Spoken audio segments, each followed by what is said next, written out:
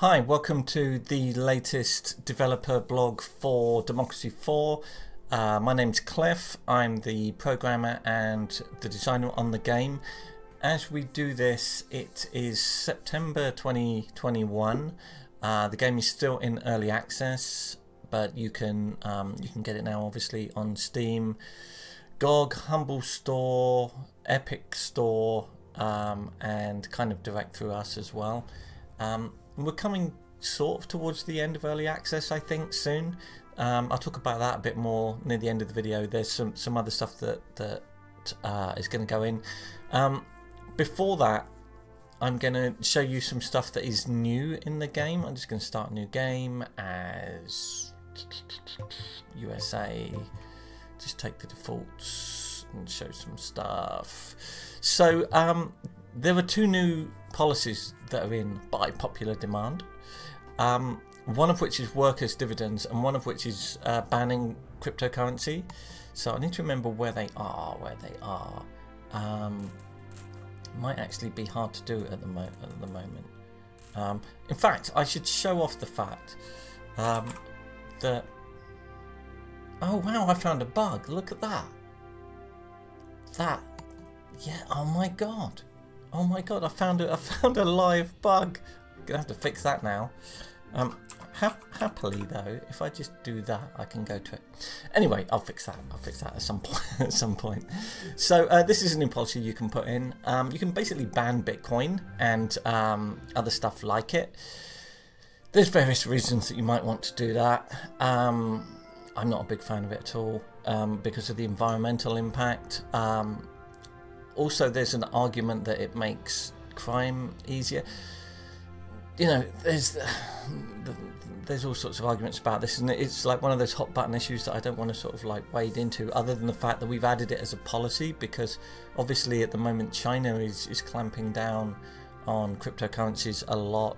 Uh, and there is talk of, of other countries um, doing similar stuff. Um, I know um, here in the UK there are some stockbrokers that used to trade um, crypto that uh, now will not allow you to do so because of the volatility. Um, anyway, it's a tool in there. It's going to upset liberals and it's going to reduce liberalism. Now you might say that why, do, why does it upset liberals? And we have to have this this long ongoing God, I hate green screen stuff. Um, we have to go back to this long ongoing thing of, of, what is liberalism and what are liberals in the game. If you think of liberals as um, a cross between what people think of as liberal in the US, but also libertarianism, so freedom. So um, if you're a libertarian, cryptocurrency is amazing because it's like the currency that the government can't control and stuff like that. Um, it's individual freedom um, to do that. If someone wants to invent cryptocurrency and sell it and you want to buy it, then what's the problem kind of thing. So you will upset liberals, but you will also reduce liberalism. And this is a thing I'll come back to because a lot more things reduce liberalism now. So you're basically taking away people's freedom here. You're saying you are not allowed in this country to trade cryptocurrency or mine it or whatever, depending on the slider. Um, so so that reduces people's freedom. That doesn't necessarily mean that's a bad thing. We we kind of take away people's freedom all the time. Um, in the UK, you don't have the freedom to own a machine gun, um, for example. Uh, you don't have the freedom to, to drive a car without a, a, a state issued license. Um, we do that a lot, so it kind of kind of makes it sound bad when you say you take away someone's freedom. It, it, depends on your point of view. But anyway, it's a policy in there. You can ban cryptocurrency. Obviously, it completely trashes the, the adoption of cryptocurrency. Um, and you can tax it. Like um, we have somewhere. Uh, yeah, we have cryptocurrency taxation. So if it really takes off, you can just tax it. Um, obviously, that will also slightly reduce it and slightly upset liberals. Basically, this upsets everyone, but you make some money um, which is like a lot of government policy, really. Anyway, whatever. Um, so that's a new policy that's in. Um, the other one that I want to talk about um, is workers' dividends. So, again, like every policy in the game, it's not one thing. Um, people say, "Oh, what about this? What about adding that?" and sometimes their ideas are like already implied to be included in policies that are already in the game. So workers' dividends is kind of like hard socialism.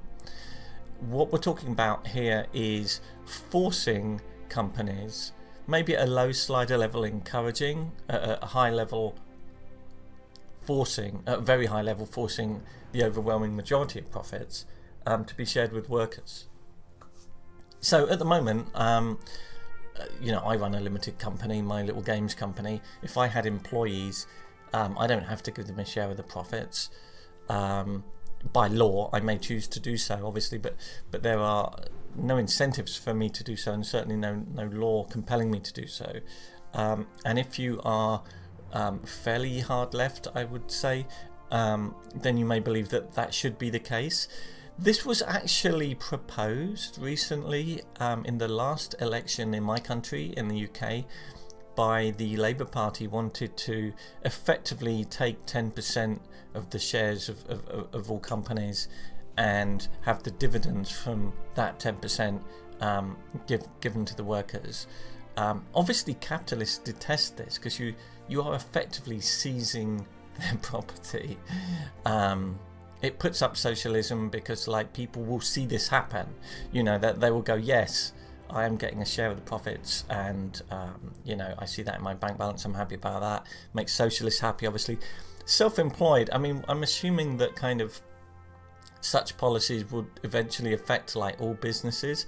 So self-employed includes really small businesses like, like mine. So um, they're not happy about it. Obviously high earnings go down um, because some of your juicy dividends get given to the workers. um, trade unionists love it, and, and poor people are better off, obviously. Um, foreign investment down because this is a worrying step from the point of view of um, a foreign company wanting to set up factories or offices in your country because it's like if they will seize 10% of the shares of domestic companies where's it going to end do they do they get 10% of my factory that I build um, you know, so it would it would dissuade foreign investment. Um, I'm not saying this is a good or bad policy, but um, you know, it has its upsides and its downsides, I guess. But the reason it's been added to the game is to have some kind of like hard socialism, because um, you know, on the far left over here we have like Stalin and Lenin. Um, uh, let's not debate um, whether or not that was true socialism or whatever. Um, but even Jeremy Corbyn, so it was this was his policy, this was his chancellor's policy, and uh, it was pointed out to me that we don't have enough policies that really go for socialism um, in the game, which is probably true. So that's that's a new one that's in there as a result of that. Um, I'm going to do my stuff out of order now because I'm actually going to talk about liberalism. So if I quit the main menu, I'm not sure if this is going to work or not. Let's let's see if I quit the main menu and I go to Compass. Um, so this is where I've been playing, I think, and where I've ended up. And that is where all of you end up in the latest version. So what this does, if you if you click online, is um, it checks the kind of database of uh, every election win that's been played with the current version of the game for each country and plots them. And as you can see, everyone's liberal. Okay, this is something I, I, I'm trying to fix and um, have some things that push that push up there. Arguably, a lot of modded countries, if you put in some countries, they're going to be really not liberal. Like, um, like I, I, suspect Turkey would not be as liberal. Um, you know, I mean, ultimately here we've kind of assuming we've got like the Taliban and stuff like this. So like, we're trying to do the whole range, and I think people get slightly annoyed saying um, everything seems to be the game is liberal because the developers are liberal. It's like um, not really, but most of the countries that we model are pretty liberal, um, and a lot more liberal than they used to be, even in my lifetime.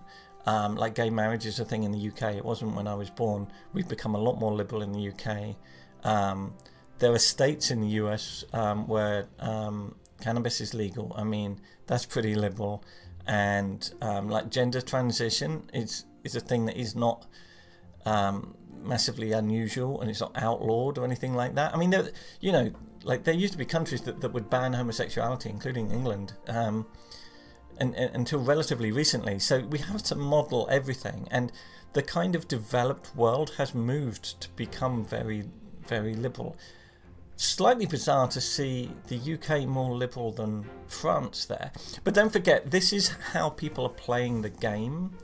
So it could be that um, it's easier to win as a liberal.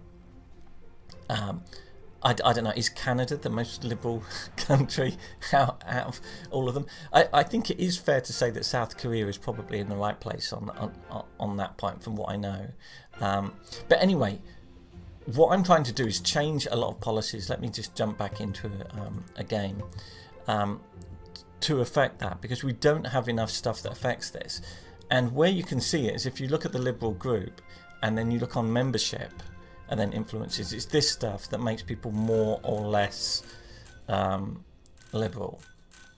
So some crime stuff, for example, if you have violent crime, that tends to make people less liberal because they're like, I have my principles, um, you know, I care a lot about blah blah blah. But people keep smashing up my house and breaking into my car, so can we not uh, bring back the death penalty, for example? I mean, that's like an extreme version, right? Um, but uh, but societies with high crime tend to um, be less liberal. Um, and we got other stuff in here like CCTV cameras are not particularly liberal thing because it's the state monitoring you, right? Um, so there's a bunch of stuff in there. Anyway, what I'm getting at is that I think this stuff isn't extreme enough on the negative end. Um, so people are not as uh, people are too liberal in the game. I think I'm working on it. The latest version um, improves that, and it will improve more. Um, something I'm going to talk about uh, just while I'm here is this stuff. So um, you see, you can see like loyalty, experience, effectiveness, campaigning. These are the attributes of your ministers. So here's a minister, yeah. Maybe I'm looking here and thinking um, they're not massively loyal. Can I replace them with someone more loyal? The, the trouble is these have colours. They go green, then down to orange, then down to red. Um, but we never used to have numbers in there. So um, so now you now you do. So I can look at this minister and go, their loyalty here in the tooltip there is 54% and then I can actually like you know compare other loyalty you can sort by loyalty or, or anything by the way. Um, that's that's new. Someone suggested that would be good to put that in there and I did that uh, and I'm quite pleased about it. Something else by the way that is new is you can sort this stuff.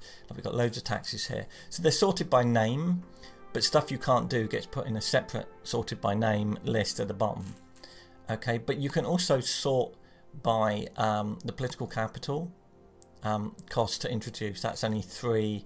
Um, that there is 16, and then 18. You know, then these are the ones that we can't do.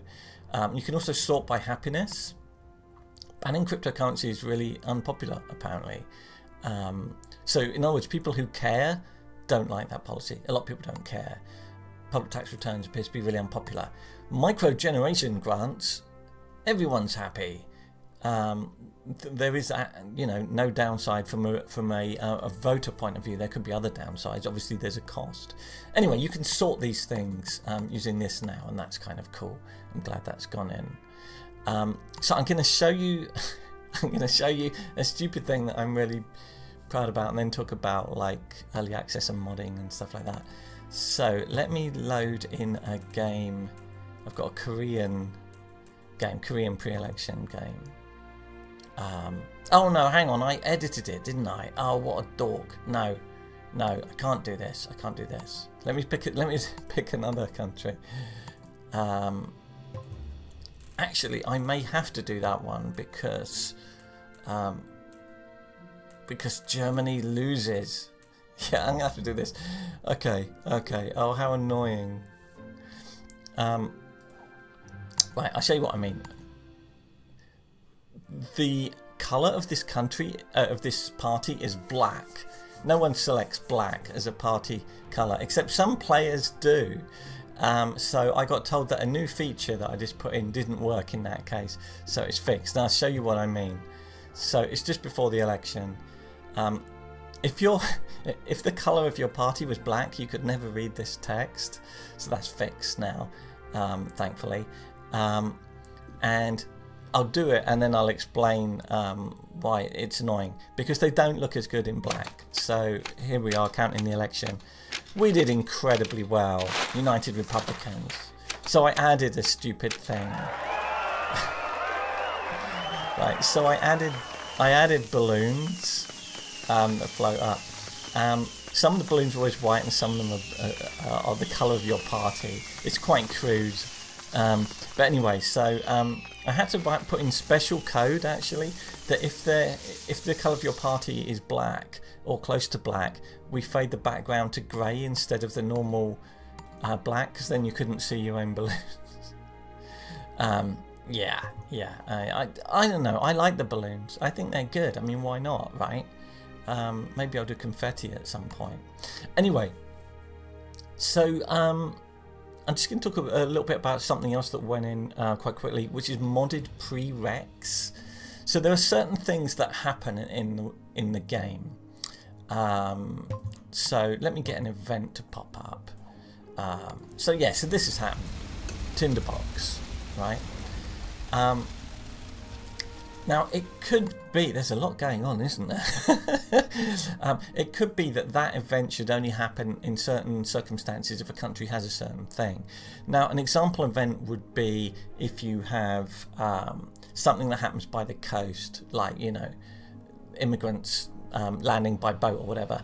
Um, when you do a mod and you add an event, you can uh, you can um, check whether or not a country has a coastline. There's a special like little line of text you put in your mod, and it will sort of say um, a prerequisite for this event happening is that you have a coastline. And there's a whole list of these things you can do if you're a modder. Um, and I've changed the game so you can add your own. So you can add your own prerequisites. So a prerequisite um, for a particular thing might be. We, we got a lot of things like earthquakes and cyclones and stuff like that. It, it could be like a plague of locusts or something, which only happens to certain countries. So you could you could define a new prerequisite, plague of locusts, and uh, you know country suffers from locusts, and then you could create a mod where that would occasionally pop up, and it will only pop up for your country that you've modded or other people who also add the same thing. Um, Anyway, it's a thing that people wanted because otherwise you have to hack the original game files and I want to make modding really easy. So um, I can't believe what's going on here in Korea. It's just everything. lost technological advantage, um, but we have driverless cars. It's we've only just squeaked through, I think. It's interesting, interesting phenomena. Anyway, um, so uh, I, I want more support for modding. Um, at the moment, we, we do we do have support for modding, obviously, and then there are loads of mods if you go to the Steam Workshop. So if you go here, um, oh, that's a test mod. Um, I don't have Steam running at the moment, so you can't do all this stuff. But like, we do have support for creating um, a mod and submitting it to the Steam Workshop so everyone else can play it, and editing your submission and stuff like that, and for browsing um, mods that you happen to have on your local PC. What I want to do is make it really easier um, for you to um, see what mods are available if you don't have Steam and you don't have Steam Workshop because we have a lot of players on Epic and stuff like that. Um, so I want it that anyone can um, use any feature regardless where they bought the game. We do that for achievements, so like our achievement system is built into the game and it just talks to Steam. Um, but those achievements, you, you, all our achievements pop up regardless where you bought the game. Um, I think that's really important because you're not giving people a lesser version. Um, anyway, so I want to do that. I'm going to get that done. And then we have Chinese and South Korean translations coming, hopefully in two days' time, and then I'll put them in and update the game. Might might do Japanese as well. So basically, we got put in um, South Korean, Chinese, maybe Japanese, um, and I want to do a lot more um, mod support. And then I'm thinking about maybe uh, coming out of early access and declaring the game released soon-ish. Um, I'll probably do another video before then. Um, but we're getting there. Um, it will be coming out then. It doesn't mean we won't be updating the game. I'll still be doing updates to uh, tweak the game to fix little bugs as they're reported. Um, and also to um, like improve the balance of the game as we get more and more players. Um, and I don't know what we can do in terms of like expansions or anything like that. I haven't decided at all. Um, but I thought I'd mention that like we're come to the end of early access now. I, have had a few people say the game looks finished. Is it um, when when is it being released? Um, I mean it's an arbitrary thing. Um, the game is not going to change dramatically um, outside of modding and language support. Um, so if you if you're holding off, you know you might as well get it. it's up to you. Anyway, thank you for watching. This is Democracy 4. You can get it now. If you do like it, please leave us a positive review because um, we really appreciate that. A lot of people don't think to leave a, a review on Steam. It's really easy to do. Um, and thank you to everyone who's doing that. And if you've got any comments on anything that happened in this video that I mentioned, um, I'll read all the comments below. Uh, and please like and subscribe, etc. Blah blah blah. Tell your favourite YouTuber to cover the game. Thanks for watching, and I'll see you next time.